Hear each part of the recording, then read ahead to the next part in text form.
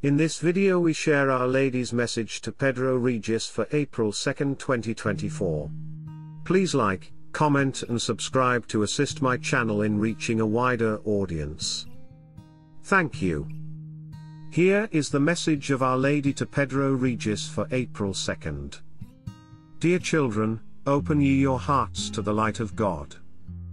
Humanity lives in the darkness of sin and my poor children walk like the blind leading the blind. Turn away from everything that distances you from my Son Jesus. You belong to the Lord and ye must follow and serve only Him.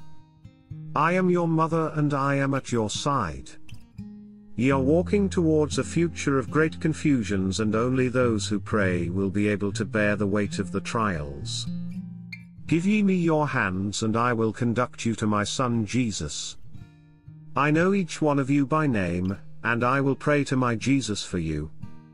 Repent of your sins and seek the mercy of my Jesus through the sacrament of confession. It is in this life, and not in another, that you must bear witness to your faith. Onward. This is the message that I transmit to you today in the name of the Most Holy Trinity. Thank you for having allowed me to reunite you here once more. I bless you, in the name of the Father, of the Son and the Holy Spirit. Amen. Stay, peace. Our Lady Queen of Peace gave a similar message to Pedro Regis on September 23, 2023. That message follows here. Dear children, be filled with the Lord's love and testify everywhere that you are in the world, but not of the world. Do not live far from the Lord's grace. Turn around, because if you stay away from the path of truth, you run the risk of eternal condemnation.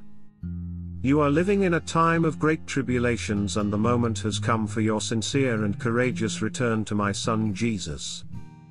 Days will come when men will walk like the blind leading the blind, because the truth will be present in few hearts. The church will be divided and few shepherds will remain faithful to Jesus.